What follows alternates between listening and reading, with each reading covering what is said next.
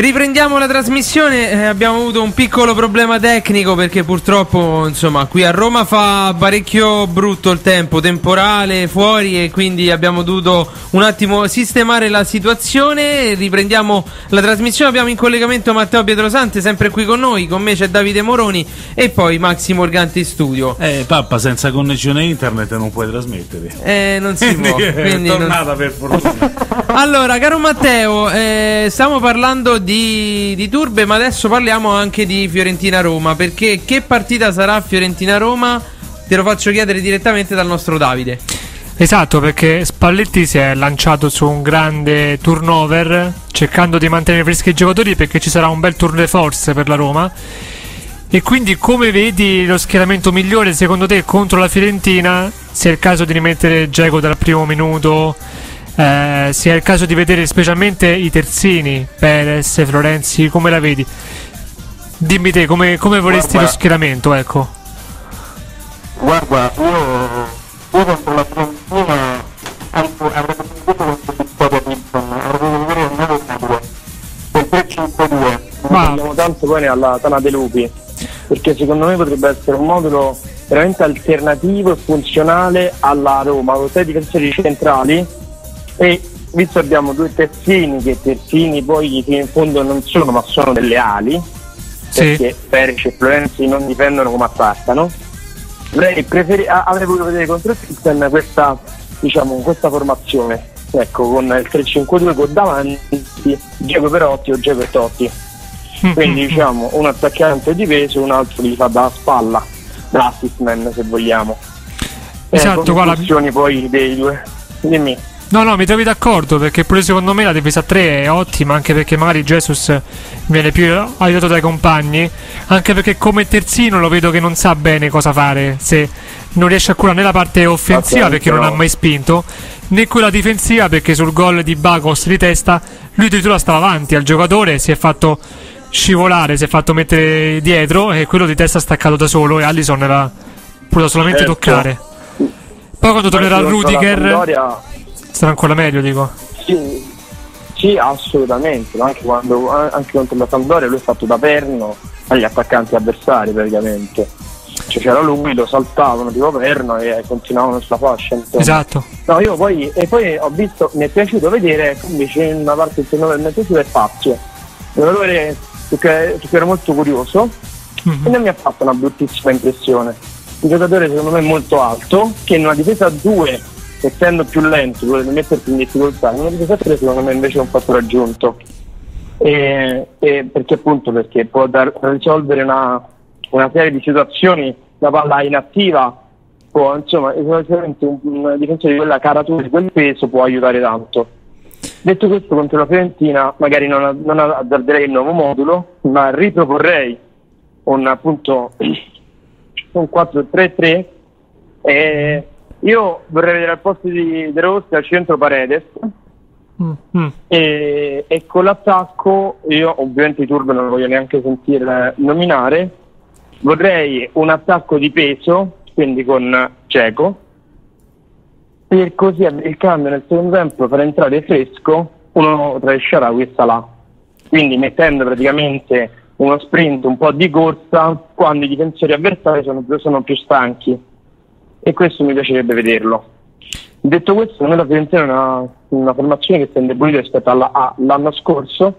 Paolo Sosa però a me non dispiace, eh, però purtroppo cioè, io ho paura eh, che questa partita possa tramutarsi in un, eh, in in un solo punto guadagnato, perché la Fiorentina è comunque la Fiorentina, è comunque una squadra ostica, che secondo me in attacco non è così tanto pericolosa, ma in difesa è ben or- organizzata. E poi le, le sue partite lo dimostrano, eh. Cioè, Mhm. eh, la Fiorentina fa fatica a fare gol, eh, gli manca proprio quella parte, ma in difesa, centrocampo difesa, è molto impenetrabile. Ecco perché, come dire, vorrei vedere questo centro, questo attacco che poi diventa più veloce e scattante, perché al secondo tempo non me li puoi spiegare, quell'organizzazione può venire meno a fronte di una, di un, eh, dell'inserimento di una velocità di un giocatore come Salah o di come Sharawi volendo. Certo. Quindi eh, è una cosa un po' che sta lavorando, lavorando speriamo bene, eh, che sta lavorando giocatori. E ecco, il punto focale sarà sarà fare gol e non tanto difendersi e questo mi fa sentire fiducioso, visto che il nostro punto veramente, secondo me, di debolezza attualmente è la difesa quindi una difesa un po' così così con un attacco che è così così mi dà fiducia. Va bene, va bene. Allora, io se Maxi non ha domande per te, o forse una domanda in chiusura. No, io volevo solo chiedere a Matteo una cosa. Eh, ma non ti sembra che un po' una schizofrenia da parte del tecnico che fino a due settimane fa diceva che aveva la rosa più forte che c'aveva, bella ed è, e poi dopo la partita co, col Victoria sono diventati tutti per conto del, del tecnico dei brocchi. Guarda, io penso che alcune dichiarazioni, cioè non, io non trovo che sia stato esagerato, frettoloso in quella dichiarazione. È una dichiarazione ovviamente fatta per dare carica alla squadra, per provare a dare carica alla squadra. Diciamo che se tu nella presentazione dici no, c'è una squadra mediocre, non dai la motivazione giusta ai tuoi giocatori. Poi è ovvio che contro, con, a fronte di una prestazione come quella con, di Pilsen, tu dire, poi devi anche prendere atto. E quindi nel post partita è un conto, nel post partita in cui fai una partita come quella, sono giuste quelle parole. Ora, non brocchi magari, però puoi dire ovviamente ci sono delle carenze, però non puoi dirlo a priori, no? Cioè a priori tu devi dare carica alla, alla squadra, pure l'allenatore dell'Albino Leffe a inizio campionato dice che, una, che ha una buona rosa, se no è finita, la motivazione non viene dal, dal mister è finita proprio. Bravo, Va- esatto. Esattamente. Va bene, Matteo. Allora, noi ti auguriamo un buonissimo weekend. E tanto poi l'appuntamento con la Tana dei Lupi ritorna di martedì o sbaglio? Certo, martedì alle 9, Perché puntuale. ha, ha mai cambiato? Non ha mai cambiato, infatti, ormai è appuntamento fisso, ore 21 e quindi mi raccomando, seguite la Tana dei Lupi con Matteo Pietrosante e poi tantissimi argomenti, ospiti, sempre aggiornatissimo, giusto Matteo? Certamente. Certo- Ciao. Certamente. Ciao, certamente, Matteo. Come sempre. Ciao a tutti Ciao, buon ragazzi, weekend. buon weekend. Ciao a tutti. Ciao, ciao, Matteo. Ciao, ciao. Allora ragazzi, è, ehm, si è di- è diminuito non, diluvio, ma insomma ne ha fatta di acqua a Roma. Eh?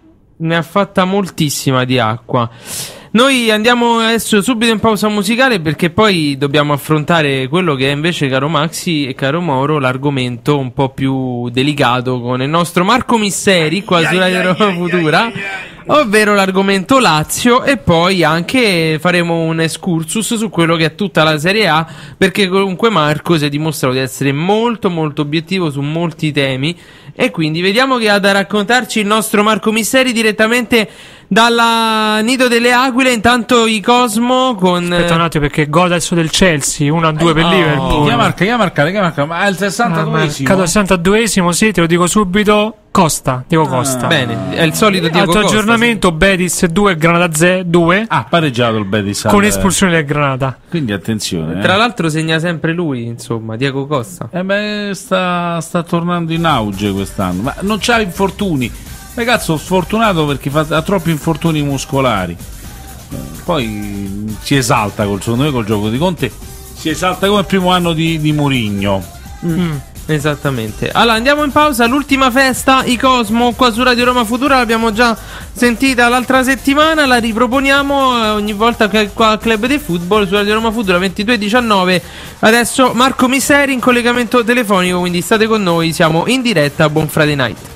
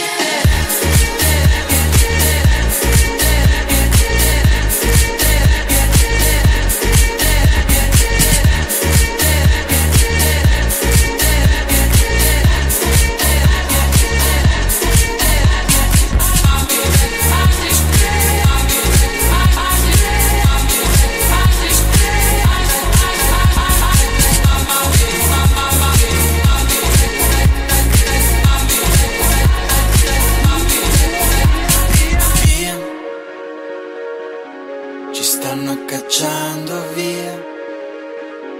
Mi sa che chiudono il locale, eppure mi sento da Dio.